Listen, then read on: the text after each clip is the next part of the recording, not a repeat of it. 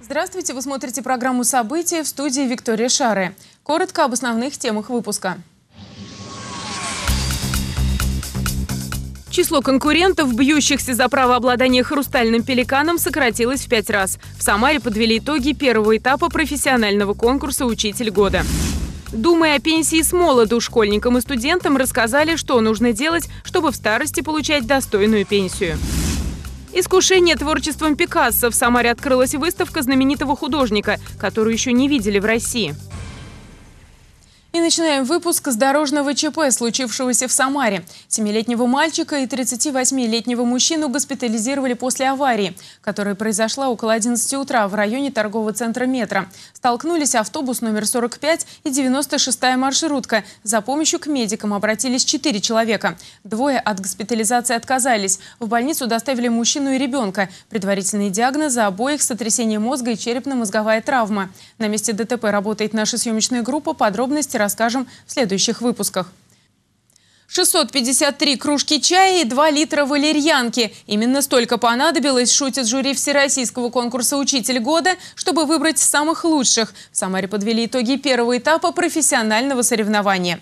Из 85 участников борьбу за большого хрустального пеликана продолжит только 15. Теперь их ждут новые испытания. Какие именно, знает Андрей Горгуленко. Богата самарская земля на замечательных учителей. 63-й регион вновь среди лидеров конкурса «Учитель года». Анжелика Зимина, учитель русского языка и литературы из Сызрани, стала одной из 15 педагогов, вышедших во второй этап. На конкурсе не отступала от своего принципа «делай, что должен и будь, что будет» и добилась успеха, хотя конкуренция была очень высокой. Сомнения были, поскольку все участники очень яркие, самодостаточные, талантливые. Мы за время конкурса сдружились, мы перестали быть соперниками. И ну, мне кажется, что в любом случае здесь проигравших нет. Здесь на самом деле все победители. География конкурса поражает размахом. От представителей Калининградской области до учителя Чукотского края. Среди вышедших во второй этап почти треть педагогов учат детей русскому языку. Также больше одного представителя имеют биология, английский язык и история. Как раз историком является Иван Филатов из Казани. Признается, приберег пару козырей на второй тур. Мы работаем каждый из педагогов по своей методике, соответственно, эта методика должна у нас прослеживаться от, э, грубо говоря, первого этапа написания эссе, заканчивая, ну, то есть надо пройти через урок, метод семинара и, соответственно, мастер-класс. Поэтому, ну, конечно, какие-то интересные вещи, фишки у меня всегда заготовлены, но линия будет соблюдена. Времени на празднование почти нет. Второй этап начинается практически сразу. Лауреатов ждет несколько испытаний. Остальные участники конкурса пока домой не уезжают. Они станут судьями и наравне с родительским, ученическим и большим жюри будут заниматься, пожалуй, самой сложной работой – оценивать выступления своих коллег. Да, конечно, тяжело. Это, в общем-то, вы знаете, это, это самое ответственное и, наверное, самая тяжелая процедура. Уровень очень высокий. Вы знаете, я, я говорю, в конкурсе с 94 -го года, с прошлого века, вот, и наблюдаю, как вырастает, в общем-то, профессионализм. В коридоре школы номер 132 уже есть своеобразная аллея славы первого этапа Всероссийского конкурса «Учитель года». Для этапа второго место также подготовили. Будет ли здесь фотография Анжелики Зиминой из Сызрани или кого-то другого, мы узнаем совсем скоро. Андрей Грагуленко, Василий Колдашов. События. Береги пенсию с молоду. 29 сентября – единый день пенсионной грамотности в Самарской области. Эта акция стала уже традиционной, она проходит в пятый раз. Школьникам и студентам рассказывают о том, что нужно делать, чтобы в старости получать достойную пенсию. Старт кампании в Самаре дан в экономическом университете. Интересна ли эта тема современным студентам, узнала Лариса Шалафаст. У студентов экономического факультета необычная лекция. Специалисты пенсионного фонда рассказывают, как устроена пенсионная система, что такое пенсионная формула и из чего она состоит. Студенты признаются, раньше о таком далеком будущем и не задумывались. Теперь эта тема стала более интересной. Я же забочусь о своем будущем. Мне важно знать, какая у меня будет пенсия. Пенсионный фонд России проводит кампанию по повышению пенсионной грамотности с 2011 года. Основная задача таких уроков – сформировать у молодежи новую финансовую культуру. В 2015 году в Самарской области прошло более 500 уроков пенсионной грамотности для 17 тысяч человек. Основной смысл лекции будет о том, что чем работая, вы должны получать как можно больше белой зарплаты в объеме, как можно дольше работать, чтобы следить за тем, чтобы работодатель правильно перечислял за вас страховые взносы, тогда к достижению пенсионного возраста у вас будет достойная пенсия. Чем раньше ты об этом задумаешься, тем более солидный будет у тебя пенсионный капитал.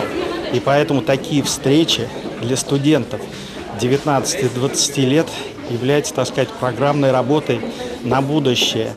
Студентов знакомят с учебником «Все о будущей пенсии» для учебы и жизни. Издание специально подготовлено Пенсионным фондом России. Такие познавательные встречи в Самаре будут проходить до конца года. Лариса Шлафаст, Григорий Плешаков. События. Кадастровая стоимость жилья может измениться в следующем году. На сайте Росреестра размещены результаты новой оценки недвижимости. От этого показателя зависит прежде всего сумма имущественного налога.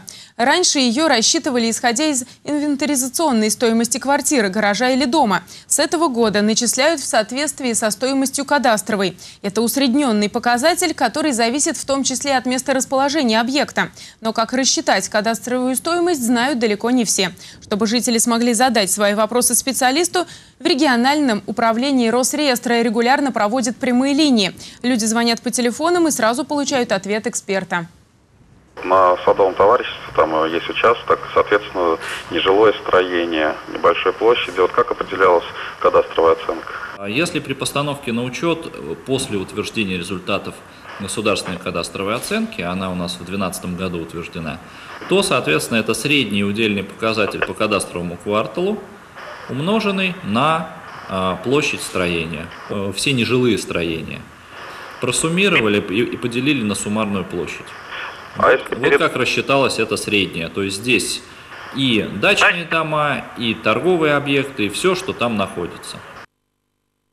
Узнать кадастровую стоимость имущества жители могут не выходя из дома. Достаточно зайти на сайт Росреестра и заказать выписку. Услуга бесплатная. А теперь коротко о других темах дня. Сотрудники самарской организации «Самара взрыв технологий» погибли под Санкт-Петербургом, сообщает сайт «Волга Ньюс». ЧП произошло при утилизации боеприпасов. Следственный комитет по Санкт-Петербургскому гарнизону по факту взрыва проводит проверку. По предварительной информации пострадали 6 человек, трое из которых погибли. Самарская организация арендует у военных часть территории. По результатам проверки будет принято процессуальное решение. В Кировском районе Самары из-за пожара были эвакуированы жильцы дома. В 11 утра сотрудники МЧС получили информацию о возгорании квартиры на улице Минской. На место происшествия направили 19 пожарных и 5 единиц спецтехники. Пожарные эвакуировали из здания 11 человек. Возгорание удалось ликвидировать за 15 минут. Всего же за минувшие сутки в Самарской области произошло 5 пожаров. В Сызрани сотрудники транспортной полиции поймали троих подростков, которые подкладывали камни на железнодорожные пути. Об этом в полицию сообщила дежурная по станции Канадейно-Васпасская. Нарушителей удалось найти. Дети в возрасте от 9 до 13 лет сознались в содеянном и заявили, что не задумывались о возможных последствиях.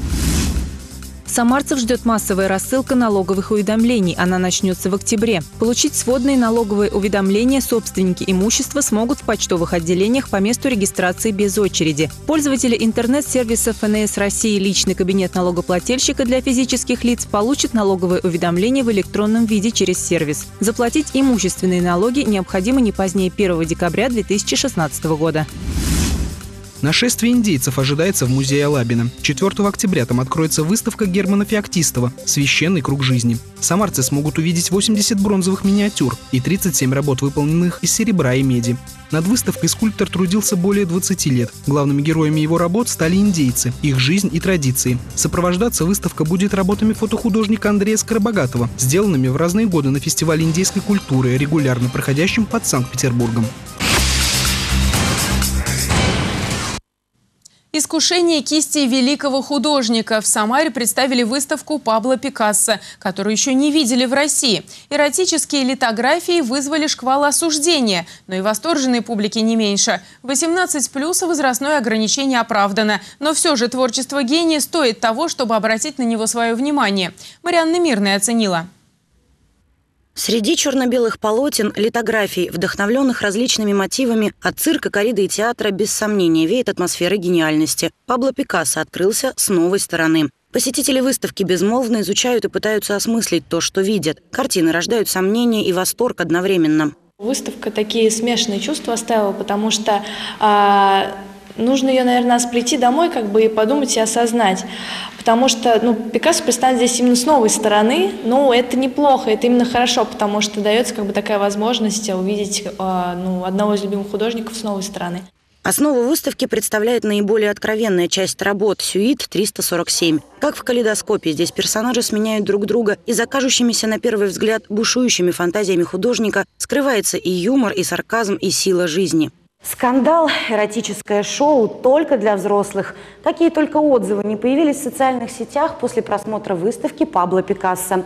88 работ впервые открывают российскому зрителю новые грани гениального художника, приоткрывая еще одну страницу его кипучего и страстного творчества.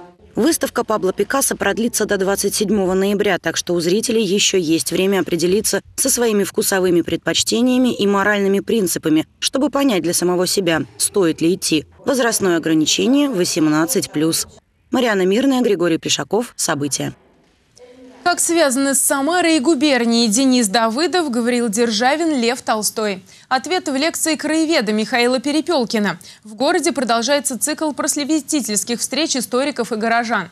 На этот раз лекция носила название, позаимствованное у аргентинского автора Луиса Борхеса. Алина Чемерис продолжит. Писатели, чьи судьбы связаны с Самарой. Одни, как Максим Горький, здесь жили и творили, другие, как Александр Пушкин, были в губернии проездом. Яркие фигуры творцов русской словесности, доктор наук и краевед Михаил Перепелкин рассматривает сквозь призму десятков, а порой и сотен лет. Даже великие судьбы, говорит, издали могут быть похожими на мух. Когда время бежит, уходит, а оно неостановимо.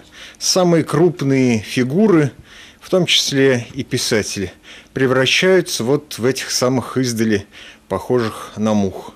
И тогда требуются усилия специалистов и требуются специальные приборы для того, чтобы вот в этих самых мухах рассмотреть очень неординарные э, фигуры с своими захватывающими, иногда радостными, иногда трагическими, иногда э, там еще какими-то судьбами. Истории, о которых многие даже не слышали. Как связаны с Самарой Гавриил Державин и Денис Давыдов. Первый здесь вел дознание арестованных пугачевцев, второй некоторое время жил с супругой в поместье под Сызранью, где и умер. Память о себе на Самарской земле оставил и Лев Толстой. В селах Гавриловка и Патровка он изучал метрические книги, чтобы понять причину высокой смертности населения. После его отчета в Самару стала приходить материальная помощь.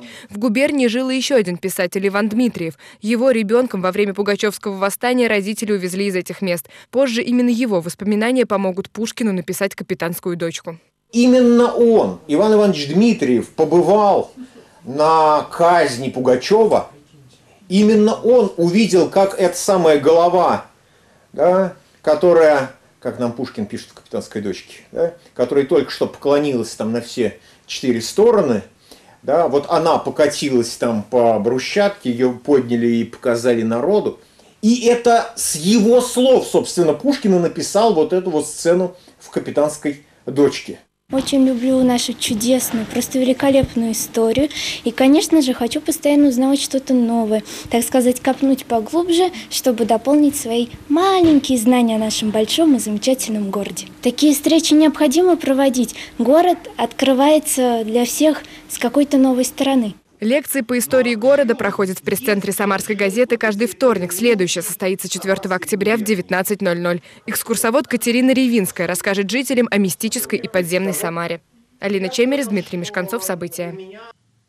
Испытать себя на прочность сможет любой самарец. Губерния в числе 17 регионов России получила право тестирования взрослого населения в этом году в рамках комплекса ГТО.